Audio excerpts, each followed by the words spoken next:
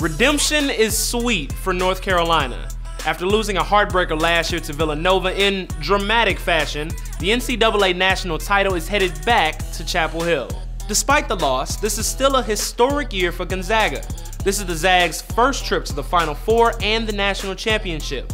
Their season comes to a close with just two losses. On the other hand, for North Carolina, this latest championship only adds to a cemented legacy as college basketball royalty. Believe it or not, North Carolina has been to back-to-back -back national championships before, and similarly, they lost the first year in 1981 and prevailed in 1982, Michael Jordan's freshman year. Overall, Carolina has been to the NCAA title game 11 times now, and the Heels have won more than they've lost, boasting a 6-5 record. As for head coach Roy Williams, he's been a Hall of Famer for a decade now. But this third national title pushes him past his mentor, former Carolina coach Dean Smith. Only two coaches in men's college basketball history have held the championship trophy more times.